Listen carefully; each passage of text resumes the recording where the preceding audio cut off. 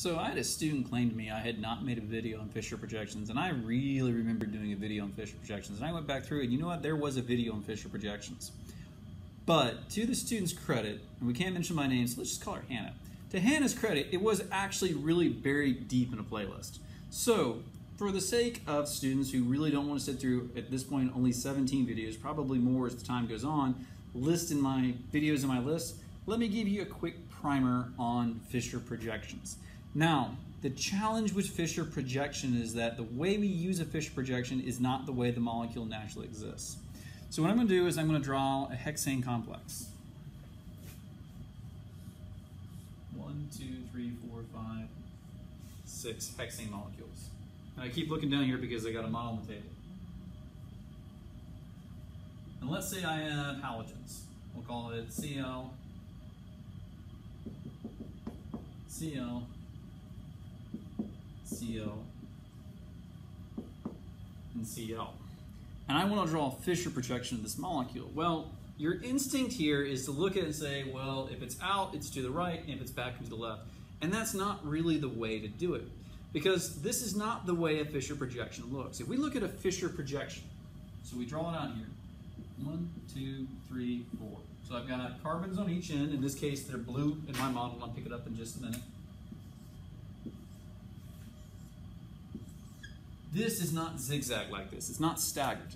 This is how the molecule would naturally exist if it was like floating around in the air, or if it was at its lowest point because lowest energy point, because it keeps all the groups anti to one another. But the way the Fischer projection looks is that each of these little crosses here is that we have one carbon in the backbone going back, above and below, and then we're looking between the bonds.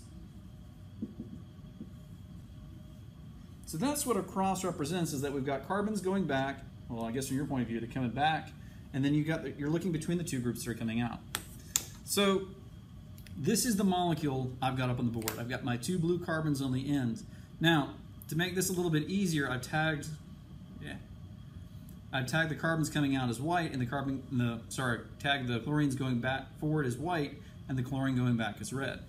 So in order to figure out the Fischer projection, what we need to do is we need to start with a carbon. We'll pick a top carbon, and we want to rotate this molecule in such a way, there we go, molecule in such a way that we've got a carbon going away from you, and we're looking between the two other bonds. So in this case, I've got the chlorine going to the right.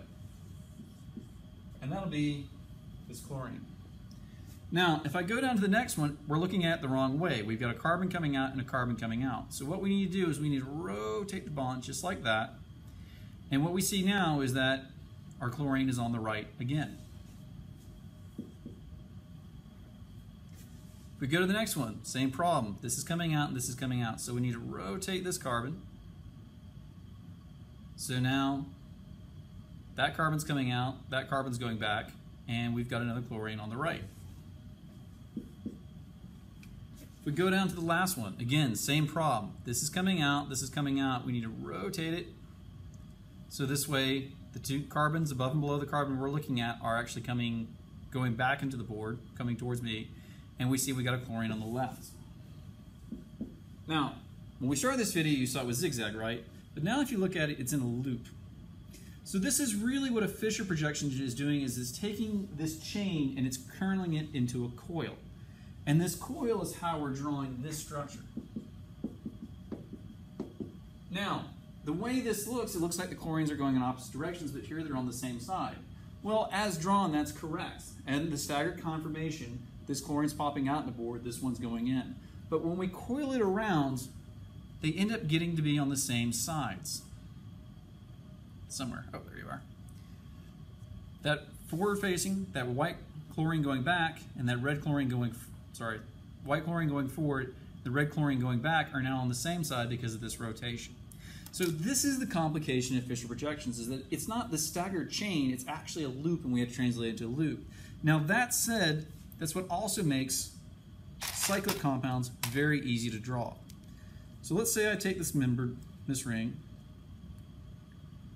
or I take the chain and I make it into a ring. So I bond the two in blue carbons. Well, super easy. What you do is you take it and you crush it down into a plane. So you crush it down into the planar configuration. Now, instead of having just this straight up and down, and I'll redraw it,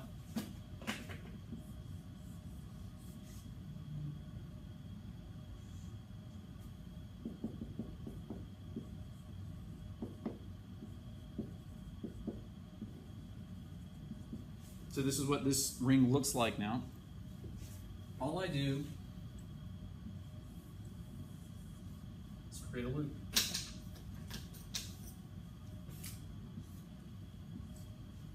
And create a line for each carbon in the ring. So this big line here represents this bond here. Now, all I have to do is arbitrarily pick one. As long as I'm consistent, I'll get the right answer. Now, the reason why I say the rings are so much easier, inherently they're already in a loop. So if I start with this carbon and I start working my way around, I've got my chlorine on the left, like I do up there, chlorine on the left again, chlorine on the left, and then just there to the side, you see the chlorine on the right. So this is your quick primer on Fischer projections. They are not the staggered conformation that you see for the line bond drawing. What it actually is is that you need to take your staggered conformation and rotate it so this way the carbons are basically forming a coil and then start looking along that coil to figure out where they appear on the left or the right side of the diagram. And for rings, this is inherently easy because they're already in a coil.